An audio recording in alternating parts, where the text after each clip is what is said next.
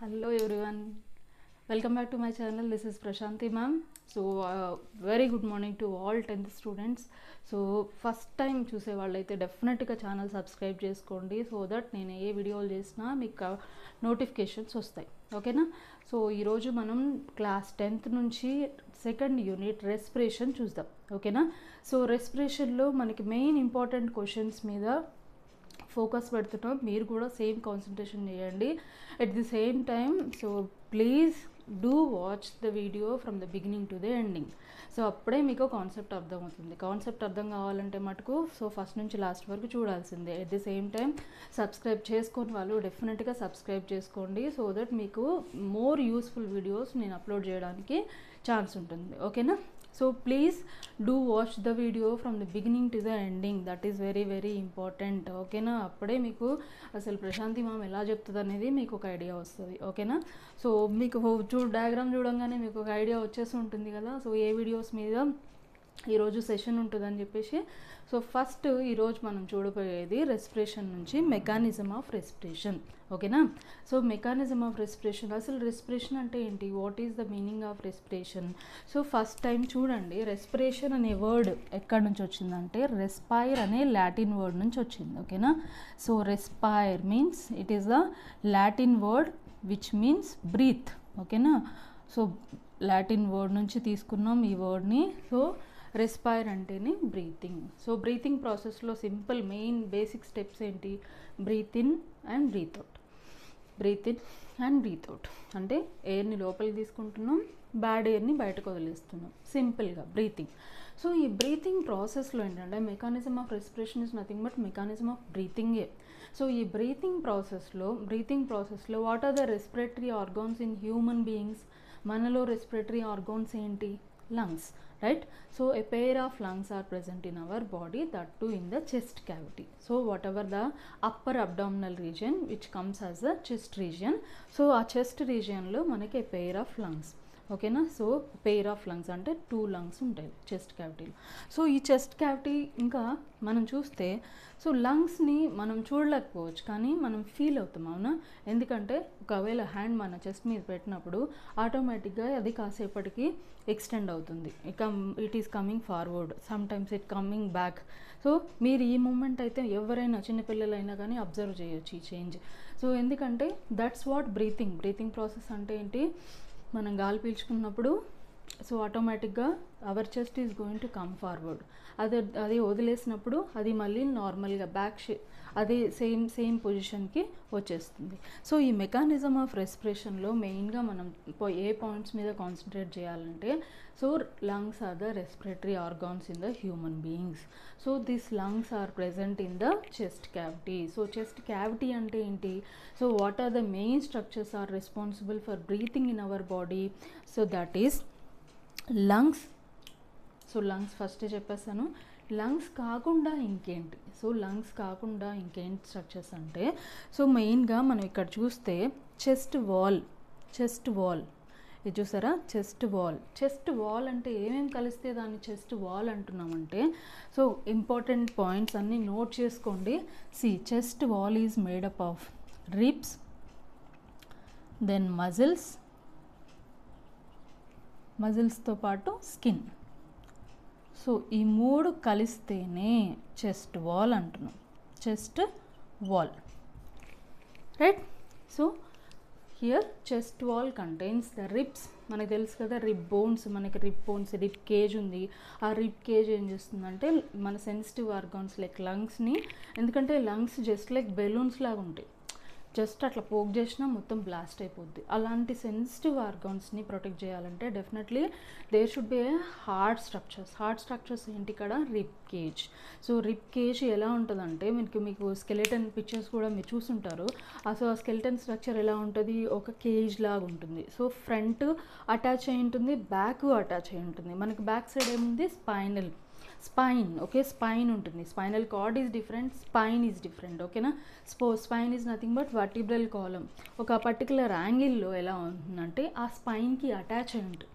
So back side నుంచి మనం fingers just మనం చెస్ట్ పోర్షన్ నుంచి బ్యాక్ సైడ్ ఇట్లా టర్న్ చేస్తే వెనుక అవి దేనికి అటాచ్ అయ్యి ఉంటే స్పైన్కి అటాచ్ అయ్యి ఉంటాయి అదే ఫ్రంట్ కూడా మనం చూసుకుంటే ఇక్కడ మిడిల్లో బ్రెస్ట్ బోన్ అంటాం. Okay? Sternum sternum what is the breast bone it is nothing but sternum okay? So స్టర్నమ్కి attach అయి ఉంటాయి సో అలా రిప్కేజ్ అనేది సో పర్ఫెక్ట్గా అరేంజ్ అయి ఉంటుంది మన బాడీలో. అది దేన్ని ప్రొటెక్ట్ చేస్తుంది? Very delicate lungs. ఓకేనా? సో హియర్ అది చెస్ట్ వాల్ ఒకటి. ఇంకొక ఇంపార్టెంట్ స్ట్రక్చర్ దీంట్లో మీరు గుర్తుపెట్టుకోవాల్సింది ఏంటంటే ఫ్లాట్ అండ్ మజిల్. మీరు ఇక్కడ చూస్తే flat and muscle flat and bundle of flat and muscle. Muscles ఎలా ఉన్నాయి చూడండి ఇక్కడ ఫ్లాట్గా ఉన్నాయి. సో ఫ్లాట్గా ఉన్నాయి అనమాట సో ఇలాంటి ఫ్లాట్ మజిల్స్ ఎక్కడున్నాయి ఫ్లాట్ మజిల్స్? ఇవి జస్ట్ లంగ్స్ కింద ఉన్నాయి. ఫర్ ఎగ్జాంపుల్ దీంట్లో మనం చూడాల్సింది ఏంటంటే ఒక చెస్ట్ క్యావిటీని మనం ఇమాజిన్ చేసుకుందాం ఒక రూమ్ లాగా. So chest cavity we are imagining as a room అయితే సో ఈ ఈ డయాఫ్రమ్ ఏదవు ఏమవుతుంది? ఏమవుతుంది? ఫ్లోర్ అవుతుంది. అవునా? కింద మనకి రూమ్స్లో ఫ్లోర్ ఉంటుంది కదా అట్ ద సేమ్ టైం ఒకవేళ చెస్ట్ క్యావిటీ ఒక రూమ్ అయితే దానికి డయాఫ్రమ్ ఫ్లోర్ అవుతుంది ఓకేనా ఫుల్ ఫ్లోర్ డయాఫ్రమ్ సో మెయిన్గా మనకి mechanism of బ్రీతింగ్లో two important structures that is involved in the mechanism of breathing that those are first one is the chest wall and second one will be the diaphragm second one will be the diaphragm simple structure so first one breathing is nothing but two processes inhaling exhaling so inhaling is nothing but taking air inside air inside so air inside then ex, uh, exa- exhaling is nothing but releasing air out releasing air out so here two processes inhalation and exhalation and also known as inspiration and expiration దానికి మనకి ఇంకొక two words ఉన్నాయి so సింపుల్గా చెప్తే breathe in and breathe out అదే కాకపోతే inhalation and exhalation inspiration and expression ఏదైనా సరే మీనింగ్ ఒకటే సో ఎయిర్ లోపలికి వెళ్తుంది. సో బ్యాడ్ ఎయిర్ బయటకు వస్తుంది.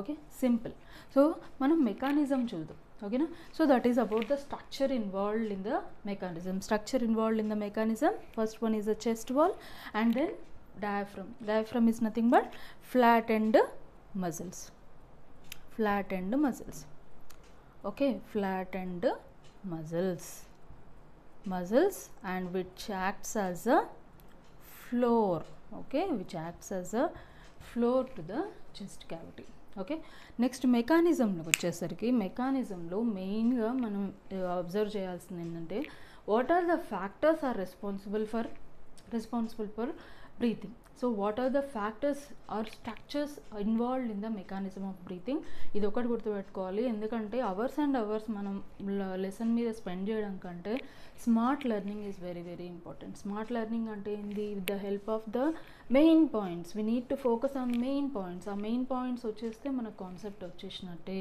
So instead of learning everything by hearting everything so by hearting is a very bad method in the learning process ఓకేనా so ఈ factors ఏంటి చూద్దాం. సింపుల్గా ఒకటి diaphragm internal pressure chest cavity and air okay diaphragm flat and muscle చెప్పాను కదా? Internal pressure chest cavity and air okay? So here diaphragm so మనకి నేను ఏం చెప్పాను? టూ ప్రాసెసెస్ అని చెప్పాను. ఒకటి inspiration I for inspiration E for expiration okay? దీన్ని ఫిల్ ఫామ్ చేసుకోండి కావాలంటే inspiration and expiration inspiration and this will be the expiration so ఇన్స్పిరేషన్లో ఏమవుతుంది? ఎక్స్ప్రెషన్లో ఏమవుతుంది? రెండు పాయింట్స్ మెయిన్గా ఫోర్ ఫ్యాక్టర్స్ మీద ఫోకస్ చేయండి. ఒకటి ఏంటంటే సో మనం బ్రీత్ ఇన్ ఎయిర్ లోపలికి తీసుకున్నప్పుడు. So when we take air inside the lungs what happens see when we take inside the lungs at that time at that time chest cavity increases see chest cavity increases internal pressure decreases ఈ రెండు inversely proportional ఒకటి రెండు ఈక్వల్గా ఉండవు. So ఒకటి increase అయితే ఒకటి decrease అవుతుంది. Chest cavity is going to increase internal pressure is going to decrease so అప్పుడు డయాఫ్రమ్ పొజిషన్ ఏంటి? డయాఫ్రమ్ షేప్ ఎలా కన్వర్ట్ అవుతుంది? Diaphragm is going to be flat and see నార్మల్గా ఉన్నప్పుడు ఏంటంటే డోమ్ షేప్ ఉంటుంది. ఇలా డోమ్ షేప్ అంటే ఇలా అనమాట డోమ్ షేప్ సో ఇలా డోమ్ షేప్లో ఉన్న స్ట్రక్చరు ఎప్పుడైతే ఇన్స్పిరేషన్కి వచ్చేసరికి it is going to be flat and flatten flatten అంటే ఏంటంటే కిందికి స్ట్రెచ్ అవుతుంది. కొంచెం స్ట్రెచ్ అయ్యేసరికి అది ఫ్లాట్గా కనిపిస్తుంది. ఓకేనా?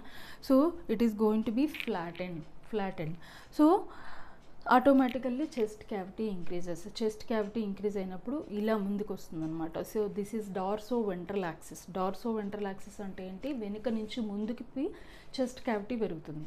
Just okay so dorsal క్యావ్ chest cavity increases internal pressure decreases diaphragm is going to be flat and then air rushes in to the lungs air rushes in to the ఏంటంటే ఫోర్స్గా air మనం బా బాడీలోకి తీసేసుకుంటాం అనమాట so that entire process is known as inspiration that entire process is known as inspiration next ఎక్స్ప్రెషన్కి వచ్చేసరికి కంప్లీట్గా opposite. So కంప్లీట్గా ఆపోజిట్ ఏంటంటే ఇక్కడ డయాఫ్రమ్ ఎలా కన్వర్ట్ అవుతుందంటే డోమ్ షేప్లో. It is going to be attain the dome shape okay then internal pressure increases అంతే కదా? ఇంటర్నల్ ప్రెషర్ ఎప్పుడైతే లోపల ఉండే ప్రెషర్ లంగ్స్లో ప్రెషర్ ఎప్పుడు ఎక్కువ ఎక్కువ అవుతుందో అప్పుడు ఎయిర్ బయటకు వచ్చేస్తుంది. Simple so internal pressure is going to be increases and chest cavity it increases మళ్ళీ chest cavity again it is coming back to the position it is coming back to the position కానీ ఇన్స్పిరేషన్లో ఏమైందంటే కొంచెం ముందుకు వస్తుంది మీరు just imagine చేసుకోండి. When we breathe in automatically chest is move coming forward. And at the same time when we breathe out it is coming to its normal position. So these are the main points you need to focus. First one respiratory organs are the lungs which is present in the chest cavity covered by the chest wall okay? Covered by the chest wall and it was supported by the diaphragm supported by the diaphragm. Chest wall is made up of ribs muscles and skin. Together it is known as chest wall and then it was supported by the thick flattened muscle thick flattened muscle is known as diaphragm. So this diaphragm is acts as a floor to the chest cavity okay? So this chest cavity is going to be increases increases during inspiration because of the increase in the internal pressure okay? Internal pressure decrease the so diaphragm is going to be flattened diaphragm is going to be ಈ four points ಹಿಡಿದು ಇಟ್ಕೊಂಡು diaphragm corner. Diaphragm is going to be flattened, and attains it attains dome shape, and internal pressure. Is going to decrease internal pressure is going to increase chest cavity increasing and uh, here decreasing. And air is going to be enters into the lungs rushes into the lungs and here it is going to out of the lungs okay exam lungs నుంచి బయటకు వచ్చేస్తుంది. That is about the mechanism of respiration very simple follow so first time అర్థం కాకపోతే మళ్ళీ ఇంకొకసారి video చూస్తే మీకు ఆటోమేటిక్గా అర్థమైపోతుంది. So next one gases exchange very very important question in the alveoli so alveoli మీకు మెకానిజం ఆఫ్ రెస్పిరేషన్ నుంచి మనకి ఏ క్వశ్చన్స్ వస్తాయంటే డైరెక్ట్గా మొత్తం మెకానిజం అడగొచ్చు లేకపోతే differences between inspiration and expression అడగొచ్చు.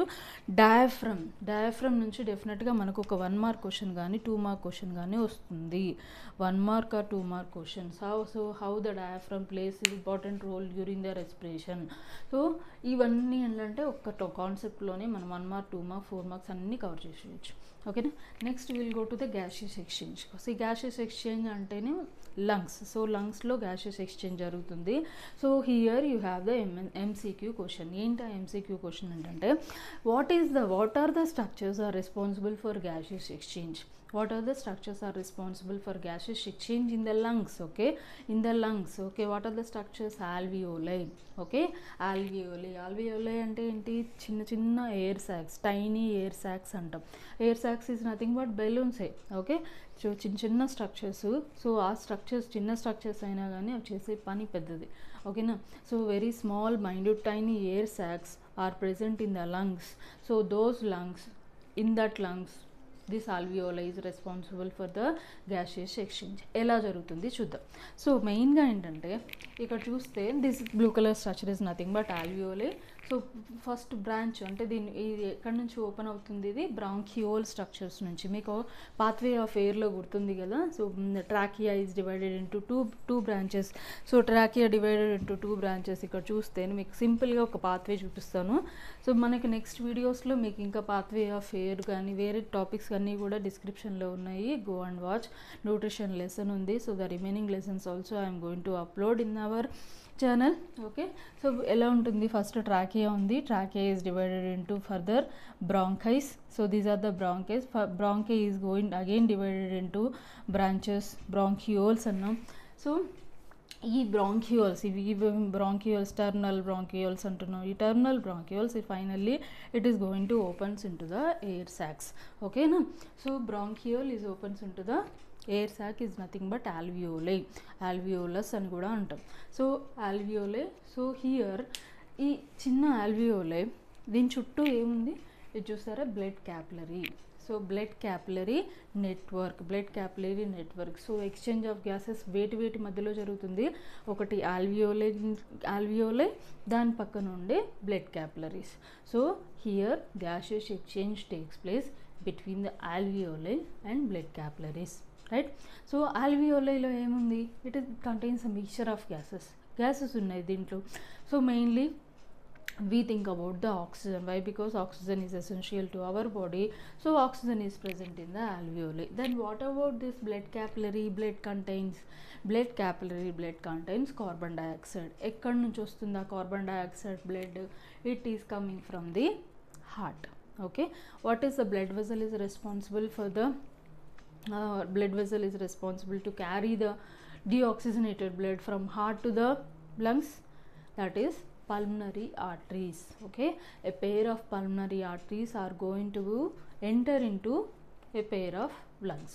So ఈ పల్మనరీ ఆర్టరీ నుంచి వచ్చే బ్లడ్ వెజల్ తర్వాత అది బ్రాంచెస్ లాగా డివైడ్ అయిపోయి బ్లడ్ క్యాపిలరీస్ లాగా కన్వర్ట్ అయ్యి బ్లడ్ క్యాపిలరీస్ నుంచి ఆ డిఆక్సిజనేటెడ్ బ్లడ్ డిఆక్సిజనేటెడ్ బ్లడ్ అంటే ఏంటి? Carbon dioxide containing blood so ఈ కార్బన్ డైఆక్సైడ్ బ్లడ్ని బ్లడ్ క్యాపిలరీస్ నుంచి తీసుకొస్తుంది. బ్లడ్ క్యాపిలరీస్ తీసుకొచ్చిన తర్వాత సో ఇక్కడ ఏమవుతుందంటే carbon dioxide carbon dioxide is going to enter into the alveolus and oxygen present in the alveolus is going to enter into the blood capillary network so this process is known as diffusion process.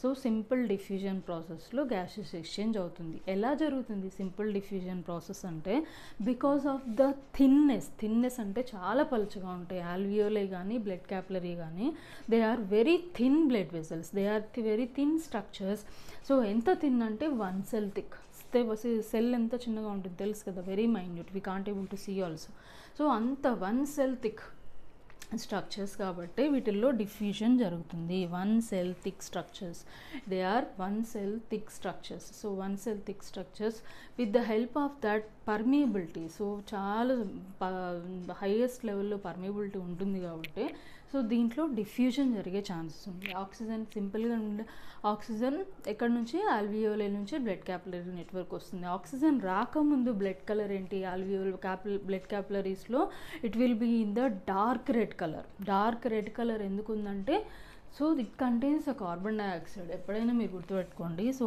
carbon dioxide containing blood will be very dark. Dark red.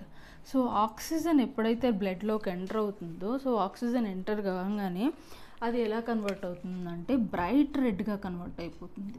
Bright red కలర్లో convert అవుతుంది. So that is the difference మనం దాని డిఫరెన్స్ని ఎలా చెప్పొచ్చు అంటే because of the presence and oxy absence of the oxygen and carbon dioxide ఓకేనా so oxygen ఎక్కువగా ఉంటే ఆటోమేటిక్గా బ్లడ్ ఏ కలర్లో ఉంటుంది బ్రైట్ రెడ్ కలర్లో ఉంటుంది. అదే ఆ కార్బన్ డైఆక్సైడ్ ఎక్కువ ఉంటే డార్క్ రెడ్ కలర్లో ఉంటుంది.